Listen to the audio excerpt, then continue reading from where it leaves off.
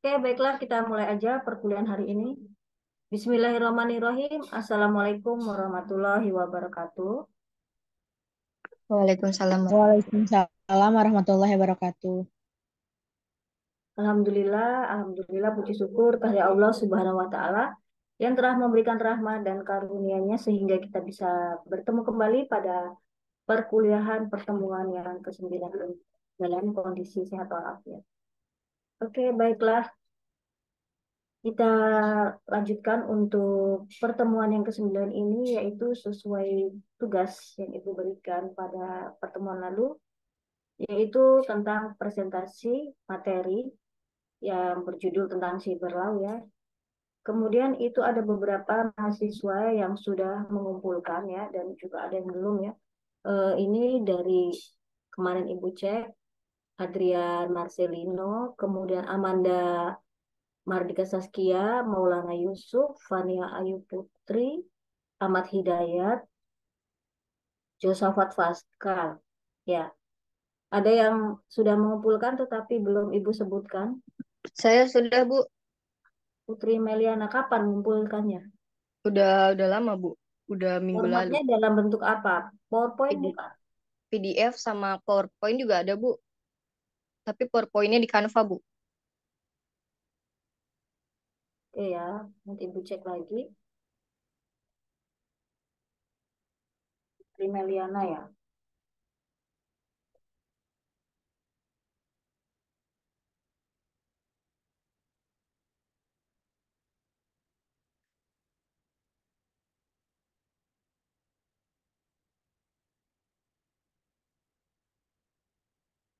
Ya. Baiklah. Ini saya Ibu cek lagi ya Putri Mariana.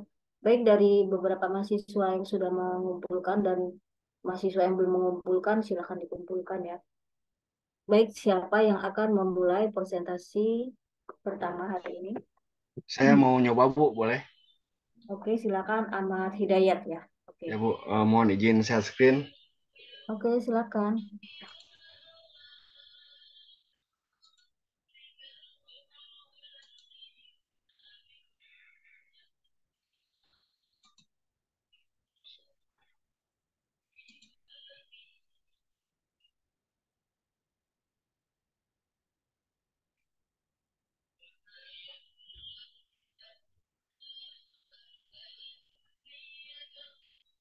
Bismillahirrahmanirrahim. Alhamdulillahirobbilalamin. Uh, terima kasih. Uh, Assalamualaikum warahmatullahi wabarakatuh.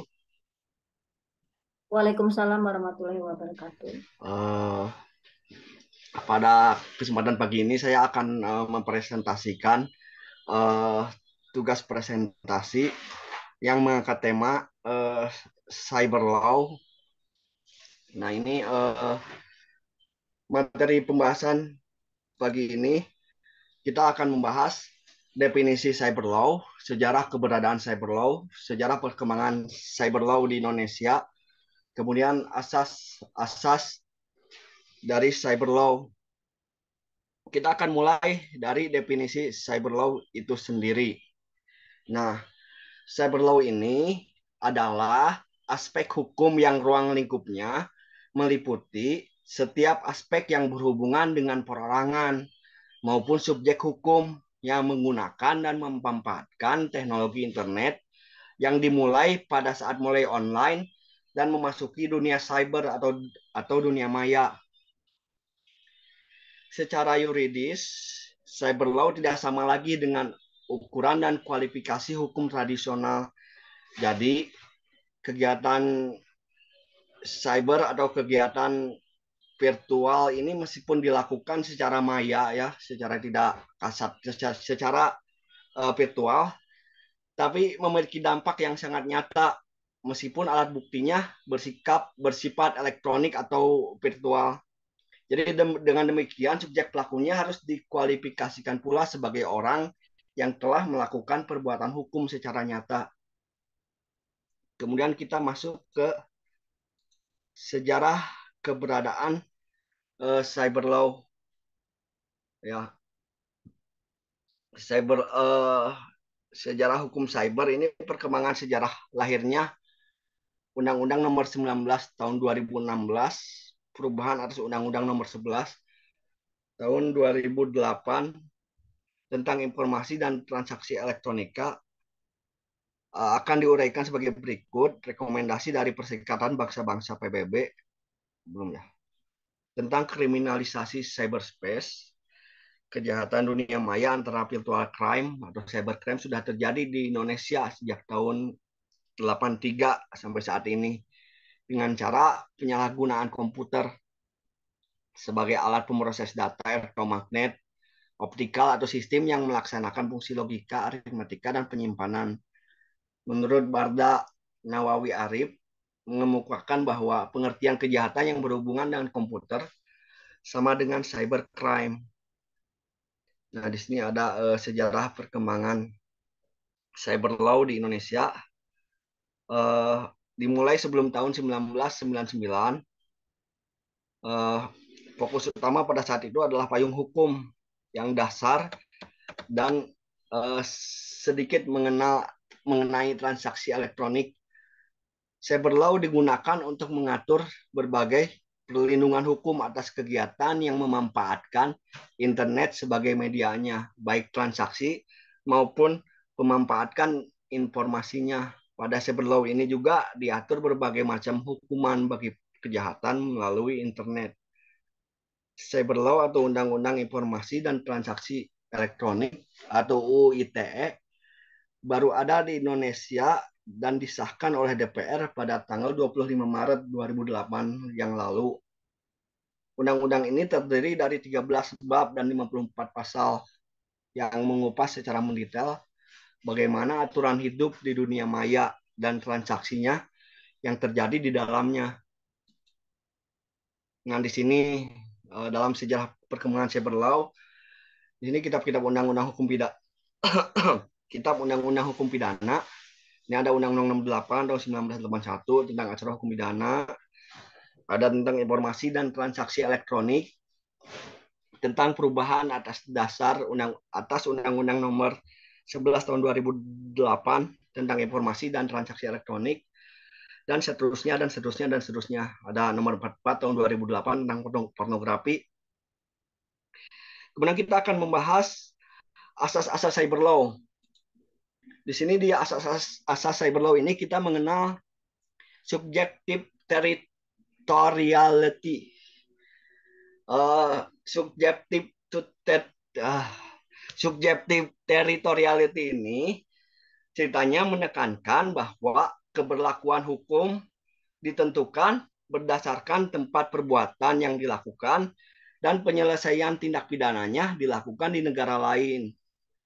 Kemudian ada objektif territoriality yang menyatakan bahwa hukum yang berlaku adalah hukum di mana akibat utama perbuatan itu terjadi dan memberikan dampak yang sangat merugikan bagi negara yang bersangkutan.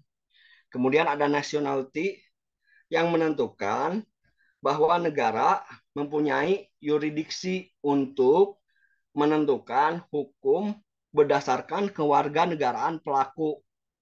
Nah, di sini ada pasif nationality ini menekankan yuridiksi berdasarkan kewarganegaraan korban.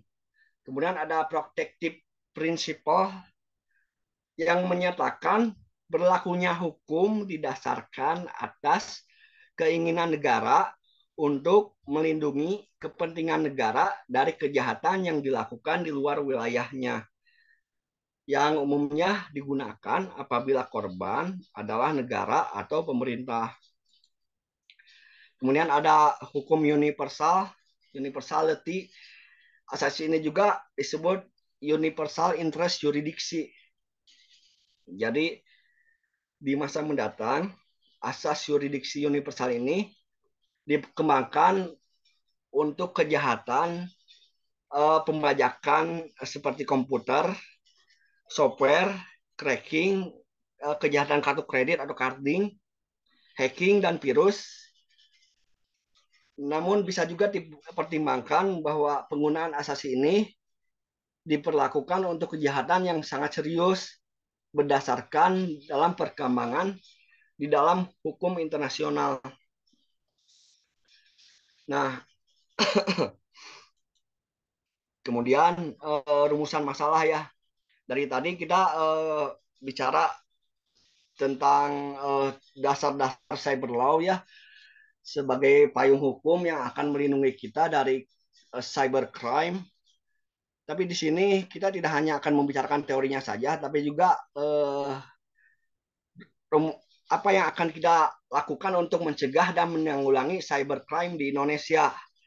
Jadi tidak ada salahnya ibarat kita ini menyediakan payung sebelum hujan atau uh, lebih baik apa namanya uh, mencegah daripada mengobati terlebih dahulu. Nah ini rumusan masalah ini. Nah ini pencegahan cybercrime ya. Misalnya mengedukasi mengedukasi user bisa mengedukasi diri sendiri juga termasuk mengedukasi uh, orang lain gitu. Ini edukasi user ini memberikan pengetahuan baru terhadap cybercrime di dunia internet uh, seperti yang dilakukan oleh Profesor Ono W Purbo ya di situsnya onocenter.or.id. Uh, beliau ini mengedukasi masyarakat agar melek uh, cyber security Uh, nah itu kesempatan bagi kita untuk memanfaatkan portal tersebut gitu untuk mempelajari, mengedukasi diri kita sekaligus jika uh, kita kita ini kan mahasiswa masyarakat ilmiah tempat panutan masyarakat awam. Jika kita berada di tengah-tengah masyarakat kita ini nanti akan ditanya sesuai dengan jurusan yang kita ambil selama kita kuliah Nah, itu sebabnya kita harus antisipasi pertanyaan-pertanyaan dari masyarakat tersebut. Yang akan bertanya kepada kita mulai dari pertanyaan sederhana seperti misalnya meminta tolong password Facebook mereka kena hack sampai pertanyaan-pertanyaan yang kompleks. Misalnya eh, saudara mereka kena tipu kemudian minta tolong untuk dilacak eh, penipunya seperti itu. Se eh, sebenarnya malu kalau kita tidak punya kalau kita tidak bisa menjawabnya kita malu malu sendiri. Selama kuliah kita ngapain aja gitu. Apalagi uh, kita dari TI ya. Dari TI semester 5 nanti kita belajar ethical hacking. Terus ada uh, kurikulum dari IF semester 5 nanti belajar digital forensik. Nah kalau tidak bisa menjawab pertanyaan-pertanyaan sederhana seperti itu kita nanti malu sendiri selama ini kuliah ngapain aja cuma jalan-jalan di mall, kemudian motret-motret makanan, upload ke Instagram, udah gitu dapat tombol like, rugi banget. Jadi kita manfaatkan ya waktu-waktu kuliah kita dengan sebaik mungkin. Soalnya belajar itu bukan kewajiban, melainkan hak kita. Nah, kita lanjut ke user use hacker perspective. Ini menggunakan pemikiran dari sisi hacker untuk melindungi sistem Anda jadi kalau ingin menangkap maling kita harus berpikir seperti maling gitu.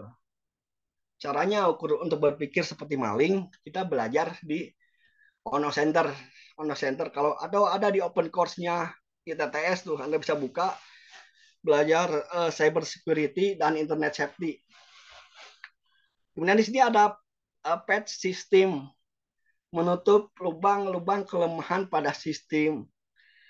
Caranya itu dengan mengupdate gadget kita, laptop kita, komputer kita, sistem operasi kita, termasuk software yang kita gunakan, kita upgrade, kita update setiap saat gitu.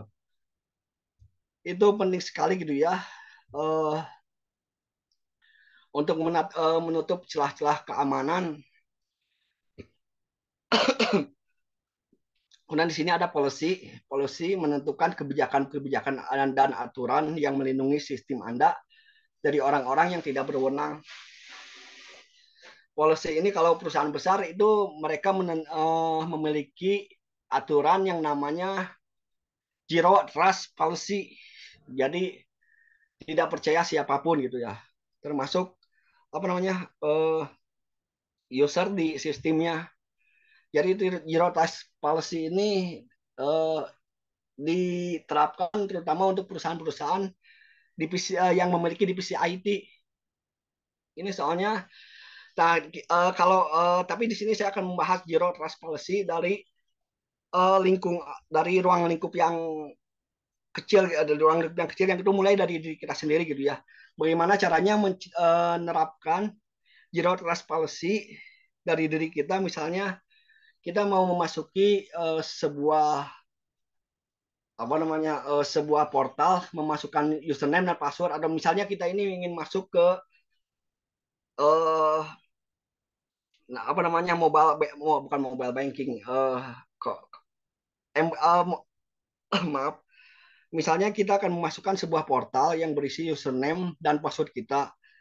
Nah kita lihat di samping kita uh, ternyata ada teman kita yang uh, yang sedang mengintip kita tahan, tahan dulu jangan dulu memasukkan password soalnya uh, apa namanya saat itu memang dia ini teman kita gitu dia itu tapi suatu saat uh, terjadi konflik, username dan password kita bisa digunakan oleh teman kita untuk menyerang kita. Nah, itu uh, zero trust policy itu kurang lebih seperti itu dalam ruang lingkup yang kecil. Jadi sebelum masukin password ke portal e-learning, ke m-banking, ke Facebook Anda sekalipun, lihat kanan kiri, kemudian lihat belakang, lihat ke atas apakah ada CCTV yang memantau. Kurang lebih seperti itu itu zero trust policy, kebijakan tidak percaya siapa pun. Nah, kemudian di sini ada firewall dan antivirus. Dua makhluk ini tentunya kalian sudah cukup akrab gitu ya. Jadi tidak perlu saya jelaskan uh, secara panjang lebar. Untuk pengguna Windows, kadang saya sering eh, menemukan komplain gitu ya. Kalau pasang firewall, bikin akses internetnya lambat. Pasang antivirus, bikin komputernya lambat gitu uh, gitu terus. Solusinya firewall ini kalau internet 5G udah masuk ke Indonesia itu tidak ada lagi istilah lambat. Jadi firewall bisa tetap terpasang. Sementara untuk antivirus, jika antivirus tersebut membuat komputer Anda, terutama Windows Anda itu lelet, coba di-upgrade prosesornya atau ganti komputer sekalian beli yang baru. Nah, kayak gitu. Capek gini hanya. Nah, sekarang, uh, nah ini penanggulangannya ini penanggulangan cybercrime, misalnya melakukan modernisasi hukum pidana nasional beserta hukum acaranya yang diselaraskan dengan konvensi internasional yang terkait dengan kejahatan tersebut. Ini eh, silahkan Anda baca sendiri ya. Kalau ada yang memerlukan slideshow ini, saya bisa share ke eh, grup WhatsApp. Ini penang, eh, lumayan panjangnya. Di sini ada ID SCRT IDCRT ini singkatan dari Indonesia Computer Emergency Response Team. Ini merupakan organis, uh, salah satu cara untuk mempermudah penanganan masalah keamanan, membuat sebuah unit untuk melaporkan kasus keamanan sistem komputer. Ini kalau nggak salah IDCRT ini udah berdiri dari tahun 2001 eh, kalau nggak salah ya 2001. Kemudian penanggulangan cyber crime terakhir ini sertifikasi perangkat security perangkat yang digunakan untuk menanggulangi keamanan semestinya memiliki perangkat kualitas. Namun saat ini belum ada institusi yang menangani masalah evaluasi perangkat cyber security di Indonesia. Nah, demikian presentasi dari saya. Untuk uh, kekurangannya saya mohon maaf.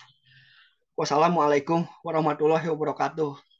Waalaikumsalam warahmatullahi wabarakatuh. Oke, baik ya buat Hidayat, terima kasih atas presentasinya. Uh, presentasinya lengkap ya, teman-teman. Tadi sudah dijelaskan oleh teman kalian. Uh, ketik, uh, jika ingin melakukan pencegahan dalam cyber law, di situ ada ya dari Pak Ono ya, ada fasilitas untuk belajar tentang cyber law ya, untuk antisipasi permasalahan-permasalahan yang berkaitan dengan. Oke, baik, terima kasih.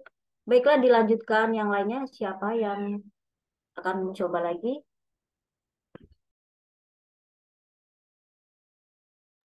Amanda mau coba, Bu. Eh. Oke, silakan Amanda. Uh, itu Putri juga mau coba, Bu. Putri aja duluan bisa, Bu. Dia ada di chat mau coba katanya. Oh, ya udah saya dulu. Izin okay. untuk share screen ya, Bu. Oke, Amanda dulu ya. Oke. Baik, Bu.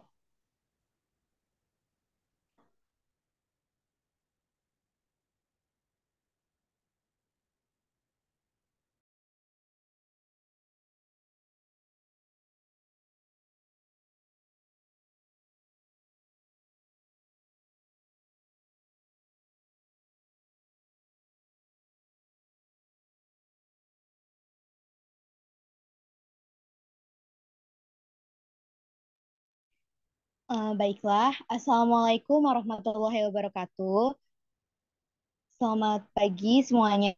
Hari ini saya akan mempresentasikan hasil pencarian dari materi Cyber Law dalam mata kuliah IT Ethnic Regulation dan Cyber Law. Poin-poin atau isi dari presentasi yang akan saya bahas hari ini adalah definisi cyber law, lalu sejarah keberadaan cyber law, dilanjutkan dengan sejarah perkembangan cyber law di Indonesia, dan juga yang terakhir asas-asas cyber law. Oke, sekarang kita akan masuk ke poin pertama mengenai definisi cyber law. Cyber law juga dikenal sebagai hukum teknologi informasi atau hukum internet yang merujuk pada serangkaian peraturan, norma, dan prinsip hukum yang mengatur penggunaan teknologi informasi, internet, dan komputer.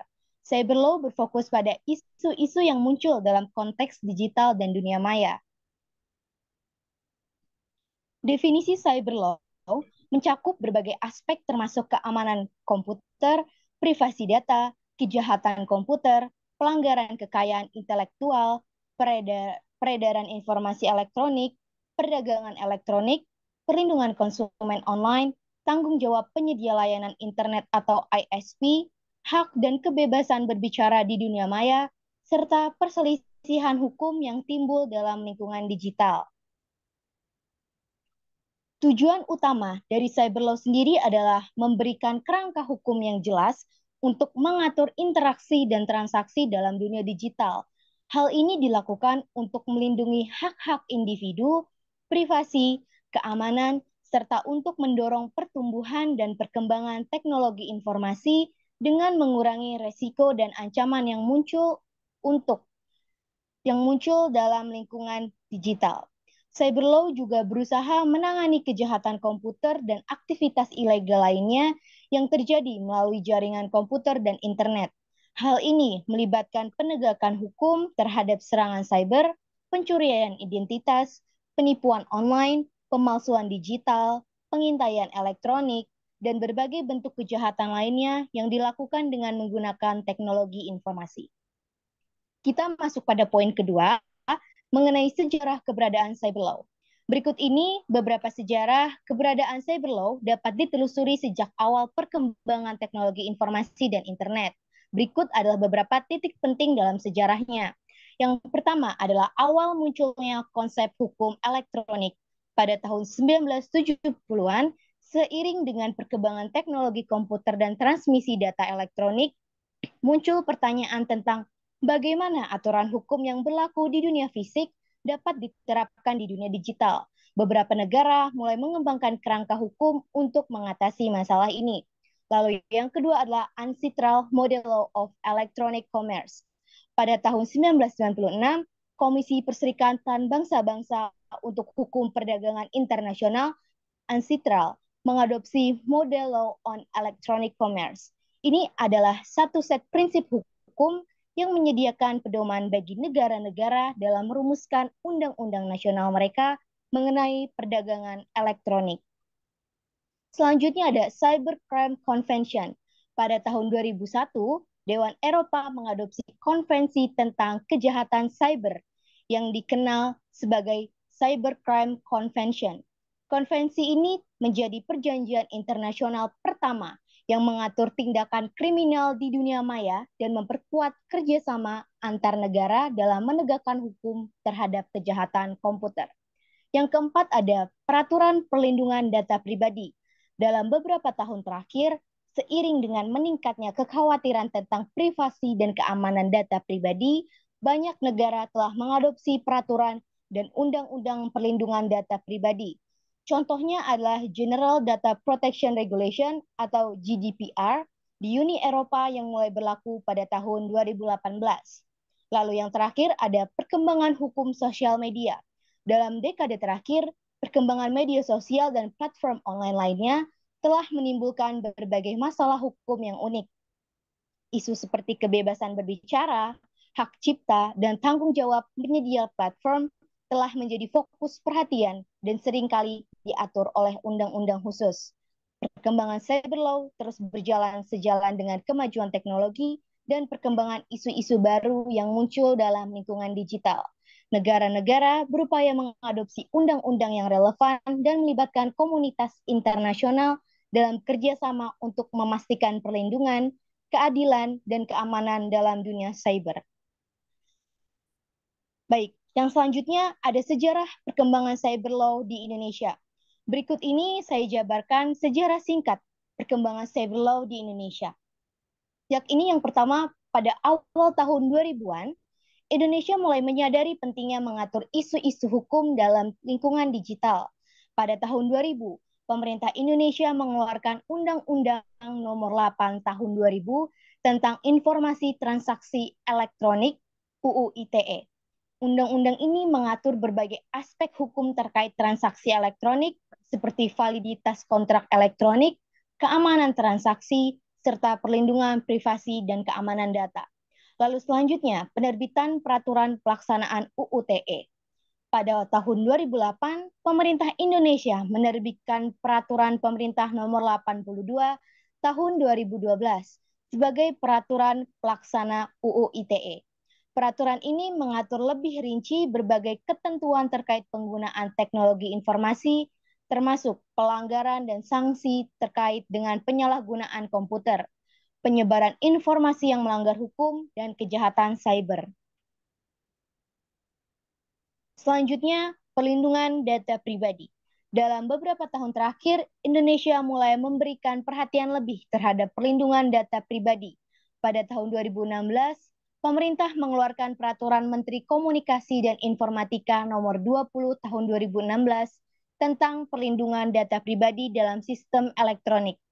Peraturan ini mengatur tentang pengumpulan, pengelolaan, dan penyimpanan data pribadi serta hak-hak individu terkait privasi data mereka. Selanjutnya ada penegakan hukum terhadap kejahatan cyber. Pemerintah Indonesia juga meningkatkan upaya penegakan hukum terhadap kejahatan cyber. Pada tahun 2017 dibentuklah Direktorat Tindak Pidana Cyber atau DTPIT Cyber di Kepolisian Negara Republik Indonesia untuk menangani kejahatan komputer dan cyber. Upaya ini melibatkan kerjasama antara kepolisian, pemerintah, dan sektor swasta untuk memerangi kejahatan cyber. Yang terakhir ada pembaruan UU ITE. Pada tahun 2020, pemerintah Indonesia mengusulkan perubahan pada UU ITE melalui rancangan Undang-Undang RUU ITE. RUU ini, menimbulkan kontroversi dan perdebatan luas terkait kebebasan berpendapat dan penggunaan media sosial. Perubahan tersebut masih dalam proses pembahasan dan belum diresmikan menjadi undang-undang. Perkembangan cyber law di Indonesia masih terus berlanjut, sejalan dengan kemajuan teknologi dan perubahan dalam lingkungan digital tentunya. Pemerintah terus berusaha untuk meningkatkan perlindungan hak individu, privasi data, serta penegakan hukum terhadap kejahatan cyber. Sekarang kita akan masuk pada poin terakhir, yaitu mengenai asas-asas cyber law.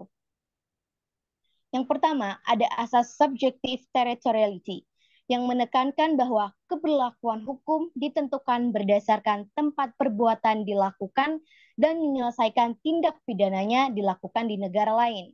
Lalu yang kedua, ada asas objective territoriality yang menyatakan bahwa hukum yang berlaku adalah hukum di mana akibat utama perbuatan itu terjadi dan memberikan dampak yang sangat merugikan bagi negara yang bersangkutan. Yang selanjutnya ada asas nationality yang menentukan bahwa negara mempunyai jurisdiksi untuk menentukan hukum berdasarkan keluarga negaraan pelaku. Selanjutnya ada asas passiva nationality yang menekankan jurisdiksi berdasarkan keluarga negaraan korban. Selanjutnya ada asas protective principle yang menyatakan berlakunya hukum didasarkan atas keinginan negara untuk melindungi kepentingan negara lain dari kejahatan di luar wilayahnya yang umumnya digunakan apabila korban adalah negara atau pemerintah. Yang terakhir adalah asas universality. Asas ini selayaknya memperoleh perhatian khusus terkait penanganan hukum kasus-kasus cyber. Asas ini sering disebut juga sebagai Universal Interest Jurisdiction. Pada awalnya, asas ini menentukan bahwa setiap negara berhak untuk menangkap dan menghukum para pelaku pembajakan. Asas ini kemudian diperluas sehingga mencakup pula kejahatan terhadap kemanusiaan atau crimes against humanity. Misalnya penyiksaan, geosida, pembajakan udara, dan lain-lain. Meskipun di masa mendatang, asas jurisdiksi universal ini mungkin dikembangkan untuk interest privacy seperti komputer, cracking, carding, hacking, dan virus, namun perlu dipertimbangkan bahwa penggunaan asas ini hanya diberlakukan untuk kejahatan sangat serius berdasarkan perkembangan dalam hukum internasional. Baiklah, jadi kesimpulan dari materi cyber law ini yang dapat saya tarik adalah pentingnya cyber law semakin meningkat Pentingnya cyber law semakin meningkat seiring dengan kemajuan teknologi dan ketergantungan masyarakat terhadap internet dan komputer. Melalui cyber law, individu dan organisasi dapat melindungi diri mereka sendiri, memastikan privasi dan keamanan data, dan menjalankan aktivitas digital dengan mematuhi undang-undang yang berlaku.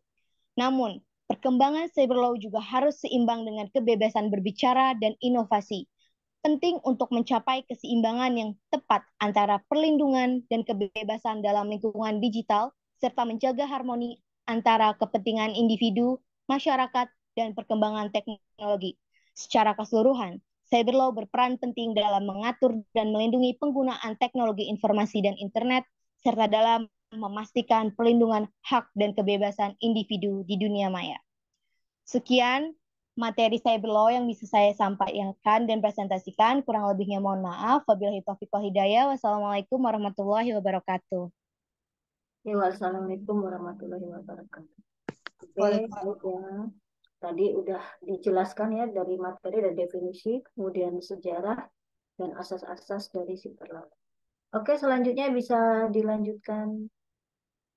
Tadi Putri ya, yang mau mencoba? Iya, Bu. Oke, silakan.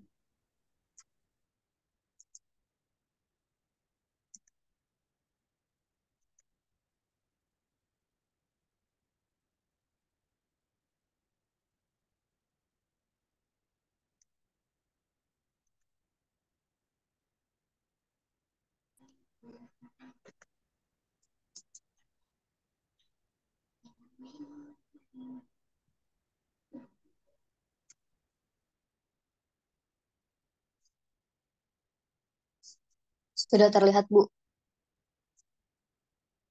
Oke, sudah. Oke, Assalamualaikum warahmatullahi wabarakatuh. Selamat pagi semuanya. Waalaikumsalam warahmatullahi wabarakatuh. Pada pagi hari ini saya akan membahas sejarah keberadaan cyber law pada mata kuliah umum IT Ethic Regulation and Cyber Law.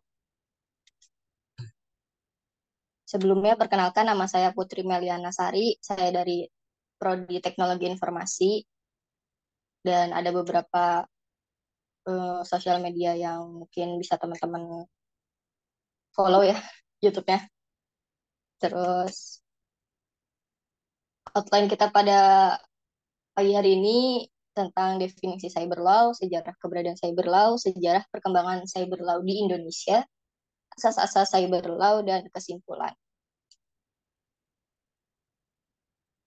Cyber law atau hukum cyber adalah bidang hukum yang berkaitan dengan pengaturan dan penegakan hukum terkait dengan penggunaan teknologi informasi, komputer, internet, dan kegiatan digital lainnya. Definisi cyber law menurut para pakar mungkin dapat bervariasi, tapi secara umum cyber law mencakup aturan hukum yang mengatur kegiatan dan perilaku di dunia maya.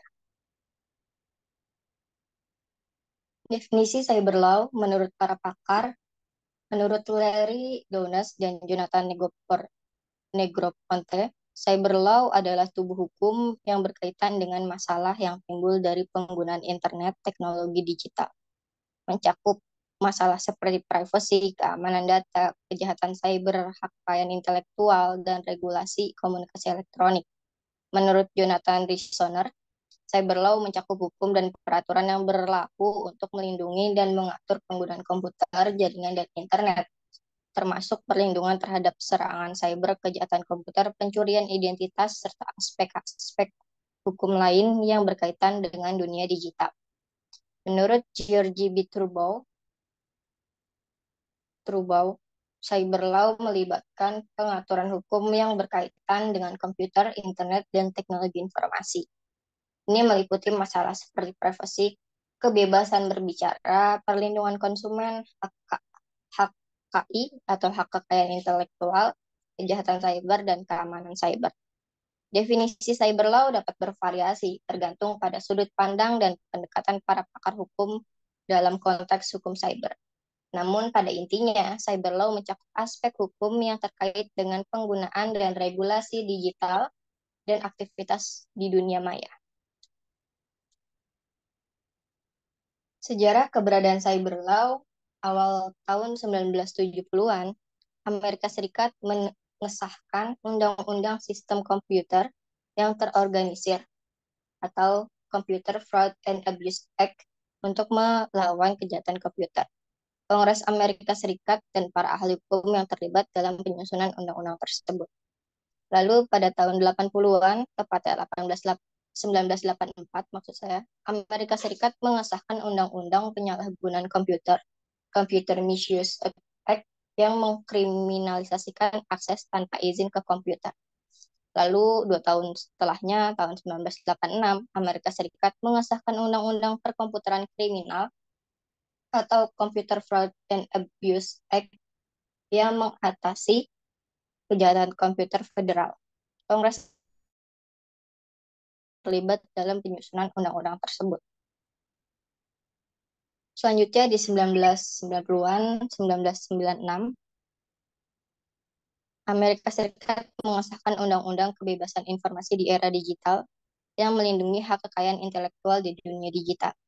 Dua tahun setelahnya, 1998, Amerika Serikat mengesahkan Undang-Undang Kekeliruan Penipuan Komputer yang mengatasi keserangan cyber dan kejahatan cyber.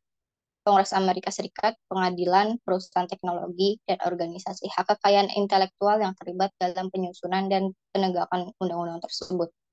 Selanjutnya di awal 2000-an, di 2001, European Union Network dan Information Security Directive dirilis, memberikan kerangka kerja untuk perlindungan keamanan cyber di Uni Eropa.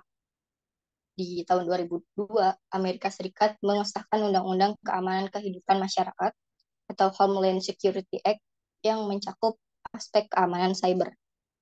Badan Legislatif Uni Eropa, pemerintah, dan ahli hukum yang terlibat dalam penyusun, penyusunan peraturan undang-undang tersebut.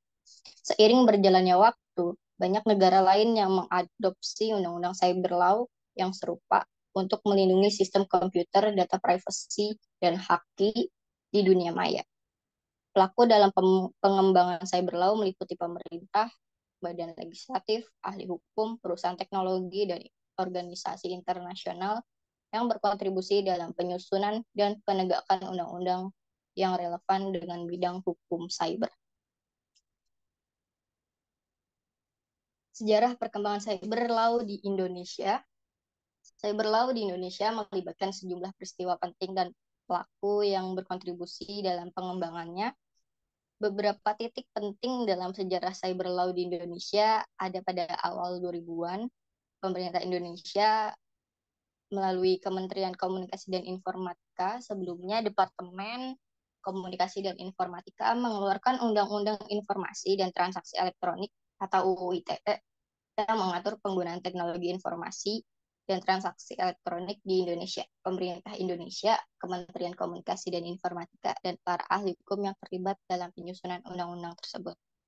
Lalu, pemerintah Indonesia mengeluarkan Peraturan Pemerintah Nomor 82 Tahun 2012 tentang penyalahgunaan sistem dan transaksi elektronik atau PP 82 2012 yang rinci tentang penyelenggaraan sistem dan transaksi elektronik.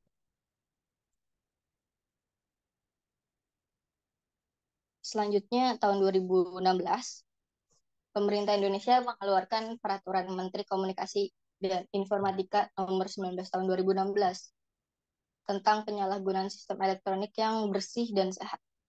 Permendikbud 19 2006 yang mengatur mengenai penyalahgunaan sistem elektronik yang bersih dan sehat.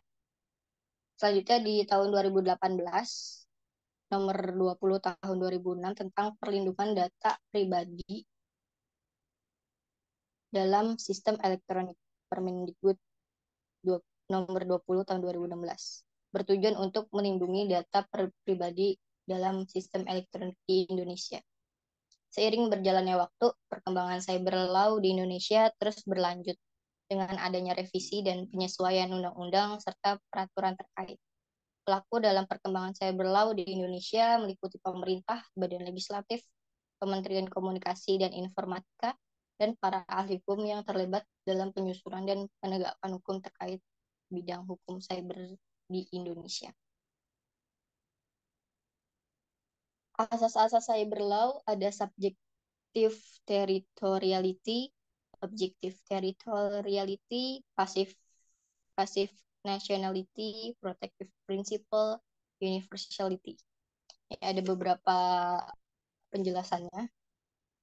Cuman saya singkat aja yang uh, subjektif ini yang menekankan bahwa keberlakuan hukum ditentukan berdasarkan tempat perbuatan dilakukan dan penyelesaian tindak pidana dilakukan di negara lain.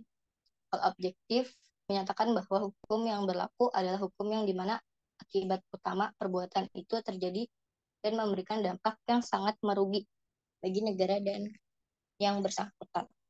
Terus nationality menentukan bahwa negara mempunyai jurisdiksi untuk menentukan hukum berdasarkan kewarganegaraan pelaku. Passive nationality yang menekankan jurisdiksi berdasarkan kewarganegaraan korban. Protective principle yang menyatakan berlakunya hukum didasarkan atas keinginan negara untuk melindungi kepentingan negara lain dari kejahatan di luar wilayahnya yang umumnya digunakan apabila korban adalah negara atau pemerintah. Terus universal universality asas ini selayaknya memperoleh perhatian khusus terkait dengan penanganan hukum kasus kasus cyber. Asas ini disebut juga sebagai universal interest jurisdiction. Pada mulanya, asas ini menentukan bahwa setiap negara berhak untuk menangkap dan menghukum para pelaku pembajakan. Asas ini kemudian diperluas sehingga mencakup pula kejahatan terhadap kemanusiaan crime against humanity. Misalnya penyiksaan, genosida, pembajakan udara lain-lain. Meskipun di mana mendatang asas jurisdiksi universal ini mungkin dikembangkan untuk internet privacy seperti komputer, cracking, carding, hacking, dan virus. Namun perlu dipertimbangkan bahwa penggunaan asas ini hanya diberlakukan untuk kejahatan sangat serius berdasarkan perkembangan dalam hukum internasional. Oleh karena itu, untuk ruang cyber dibutuhkan suatu hukum baru yang menggunakan pendekatan yang berbeda dengan hukum yang dibuat berdasarkan batas-batas wilayah. Ruang cyber dapat diibaratkan sebagai suatu tempat yang hanya dibatasi oleh screen dan password. Secara radikal, so, uh, secara radikal ruang cyber telah mengubah hubungan antara legally signifikan atau online, fenomena, dan physical location. Conclusion pada presentasi kita kali ini yaitu cyber law memiliki sejarah perkembangan yang penting baik secara global maupun di Indonesia. Pengenalan undang-undang, peraturan, dan asas cyber law merupakan langkah penting dalam mengatur penggunaan teknologi informasi, melindungi privasi, dan keamanan serta memberikan kerangka hukum yang jelas dan perlindungan bagi individu dan organisasi di dunia digital. Sekian presentasi dari saya, kurang lebihnya mohon dimaafkan. Wabillahi taufiq wal hidayah. Wassalamualaikum warahmatullahi wabarakatuh. Waalaikumsalam warahmatullahi wabarakatuh. Oke, baik ya.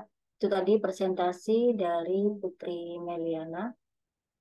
Oke, selanjutnya ada yang mau presentasi? Saya, Bu. Adrian Marsilino. Ya, Bu. Silakan, Adrian.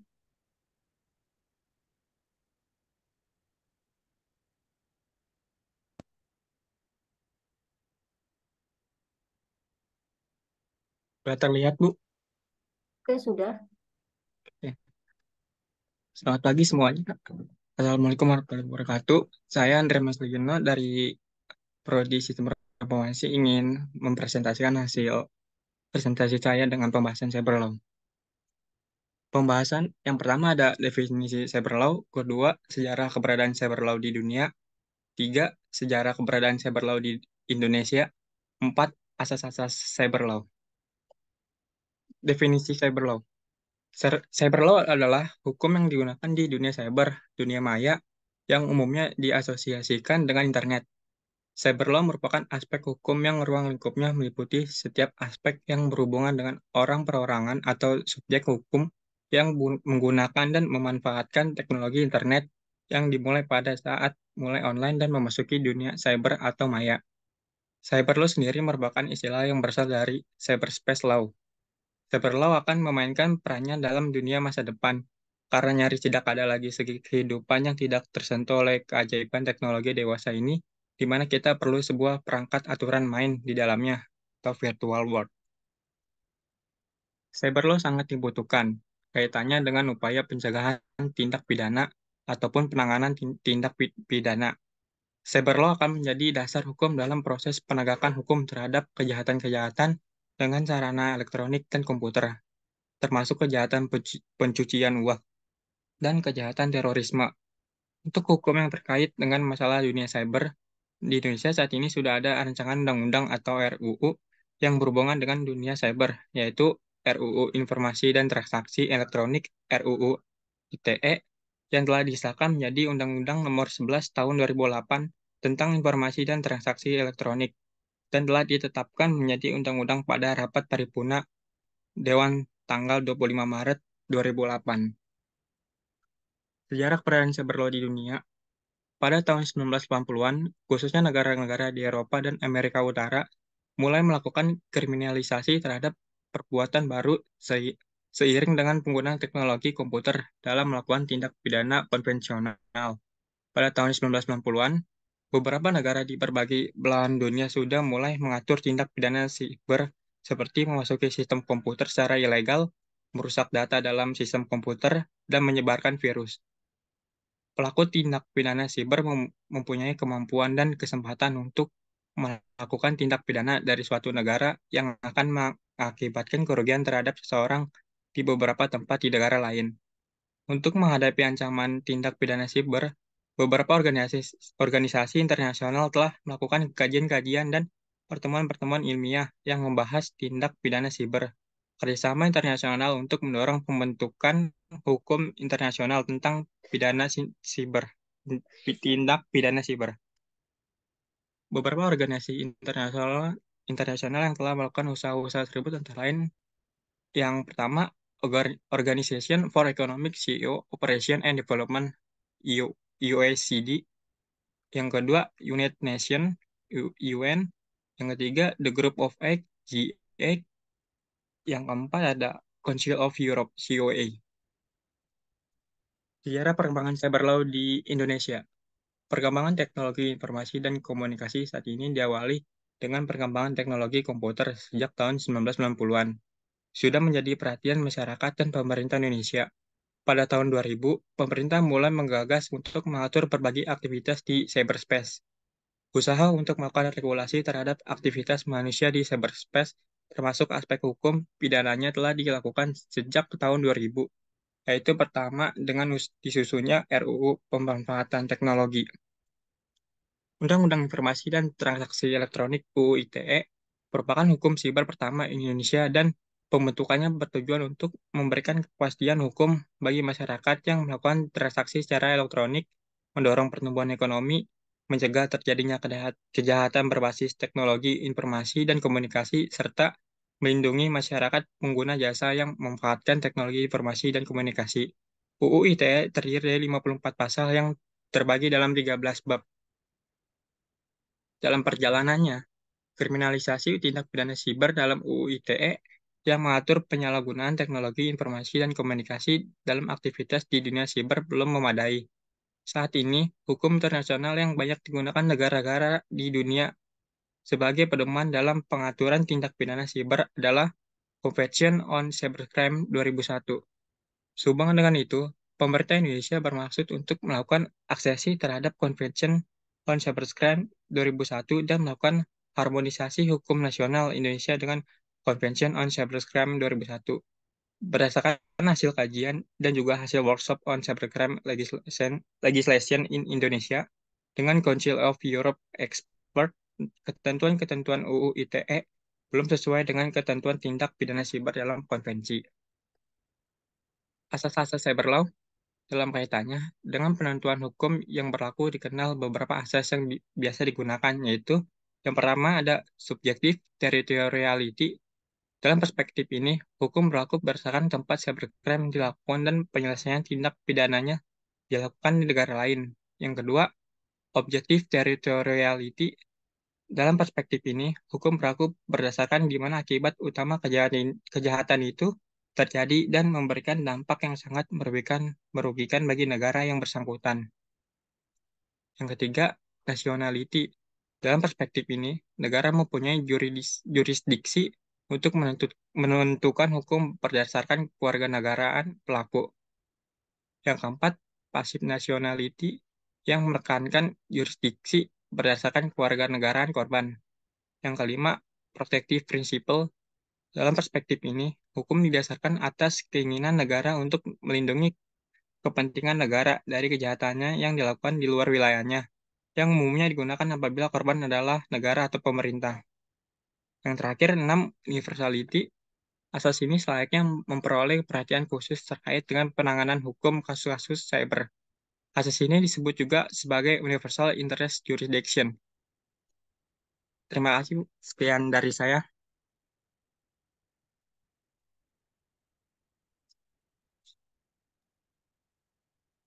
Sudah, Bu. Oke, terima kasih dari Adriana Silino. Oke, kita break sebentar ya.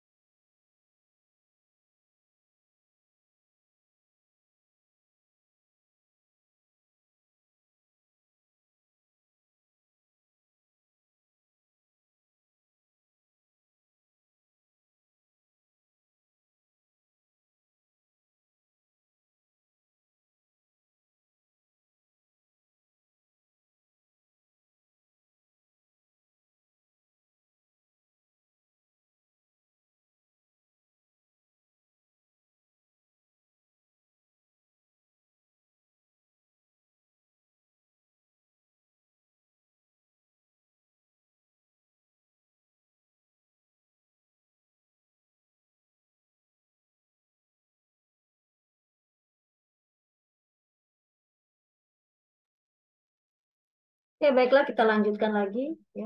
Tadi sudah ada beberapa teman yang sudah mau presentasikan. Uh, ada yang mau presentasi lagi?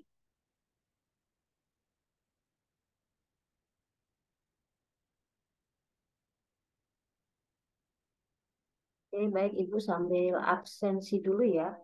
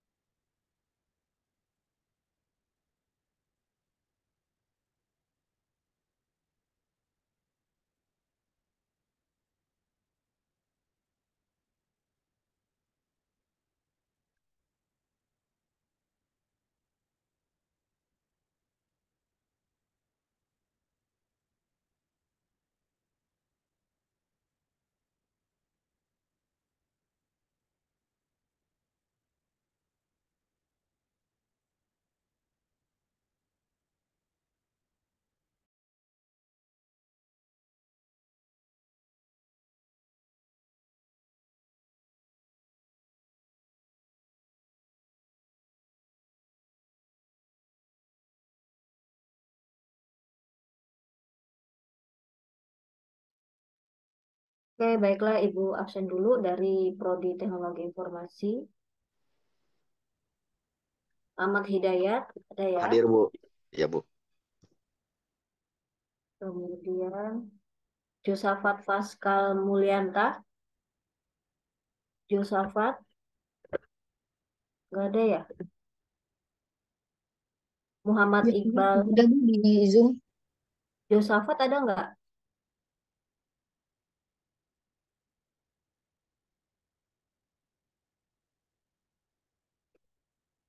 Mana mahasiswanya? Josafat? Muhammad Iqbal Rahman? Muhammad Iqbal Rahman? Nggak ada ya? Monica Carla Pakpahan? Hadir, Bu.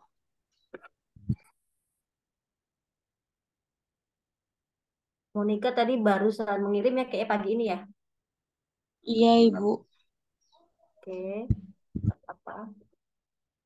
Putri Meliana Sari, ya. Ya, Putri hadir Bu. Ya, Salahuddin Abdul Aziz. tadi. Oke. Salahuddin Abdul Aziz. Nggak ada ya. Tadi Muhammad Iqbal Rahman ya ada nggak sih?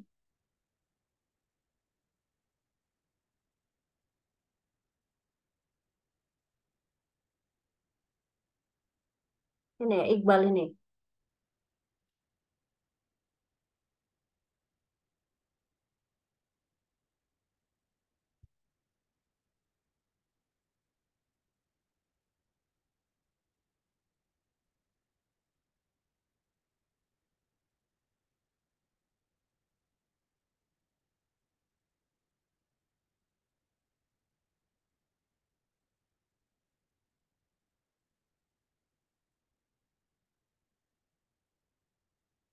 Ya, Prodi Sistem Informasi.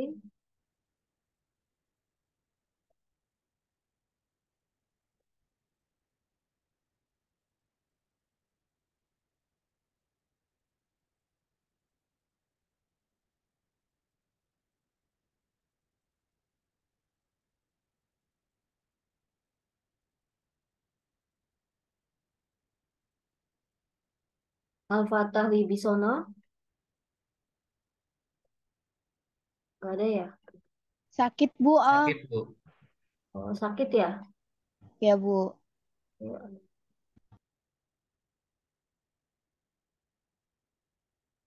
Alisa Nur Hapsah. Hadir, Bu. Alisa ada? Ada, ada, Bu. Oke, Amanda Mahardika Saskia ada ya? Ada, Bu. Adrian Marcelino ada. Hadir, Bu. Aulia Fitri Madani. Hadir, Bu. Hmm. Delia Mutia Sabrina. Hadir, Bu.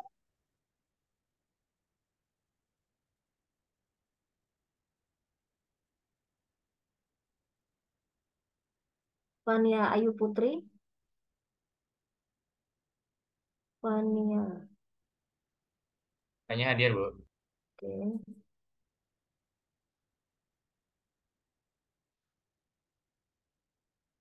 Jalu Arya Nugroho.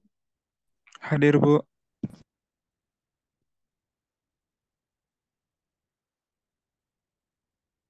Lukmanur Lazuardi.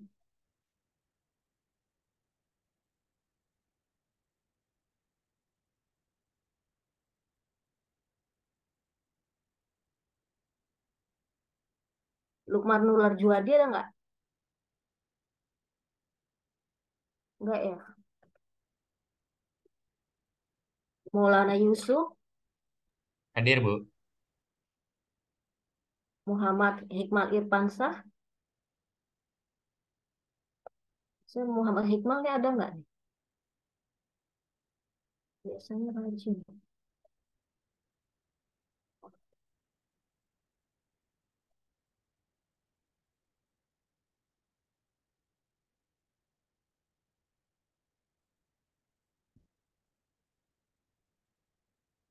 Putri Awalia, Izin, Bu, ada acara keluarga.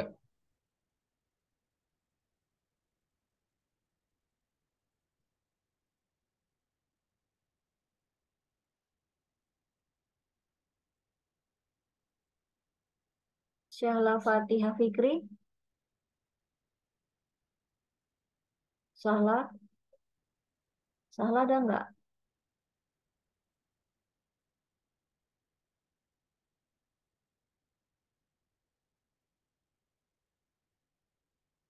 Oh ya. Yuni Hapsari, ada nggak ya?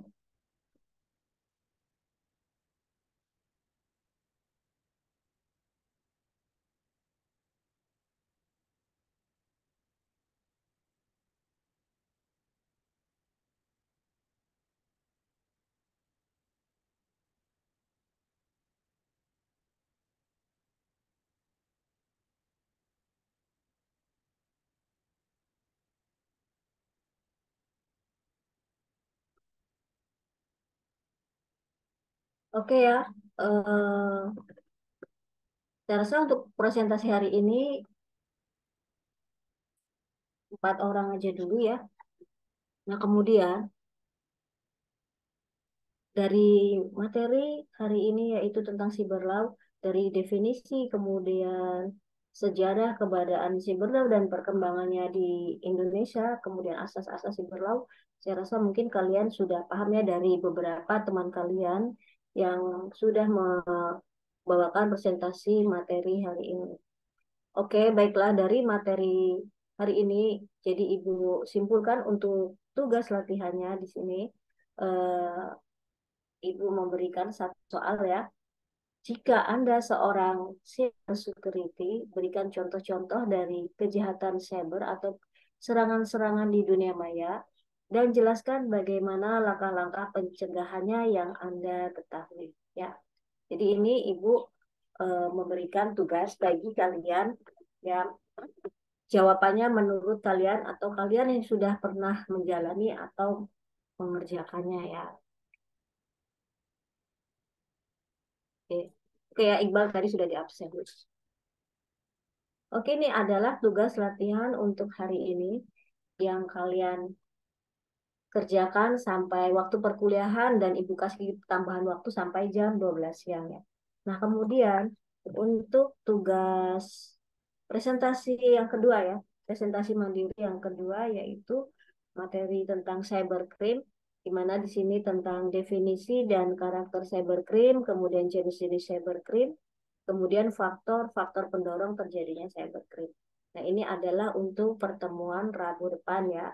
Sama ya, Uh, jadi kalian membuat dalam bentuk PowerPoint ya, presentasi dalam bentuk PowerPoint yang dikumpulkan satu hari sebelum perkuliahan ya, jam 8 pagi paling lambat. Oke, dari dua tugas ini ada yang mau ditanyakan? Tugas yang pertama kirim format PDF Bu ke email Ibu. Uh, tugas yang pertama ini kirim aja ke grup WA ya kirim ke grup PA. Nah, kemudian kalau yang tugas yang kedua dikirim ke email. Ya. Dua-duanya PDF ya Bu atau Microsoft Word? Kalau yang tugas mandiri presentasi dalam bentuk PowerPoint ya. Oh, ya baik Bu. Oh, sama seperti materi tadi ya, ini kan untuk presentasi. Eh, kemudian kalau yang pertama dalam bentuk PDF. Oke ya, saya rasa sudah paham. Oke.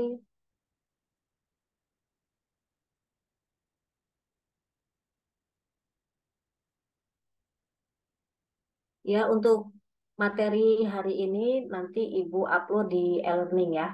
Tadi sudah Ibu upload, tapi ada materi di bawah yang perlu Ibu tambahkan.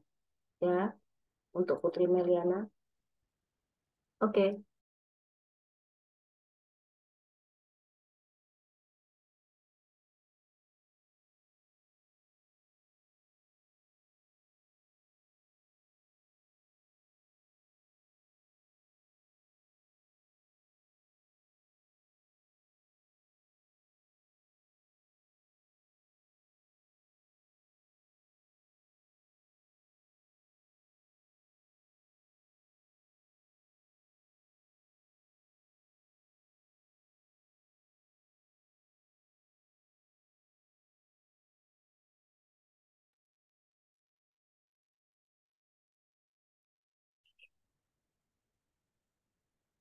Oke, untuk tugas dan latihannya ini ya, silahkan di screenshot atau di foto ya, silahkan. Untuk tugas satu dan judul dari materi presentasi yang kedua.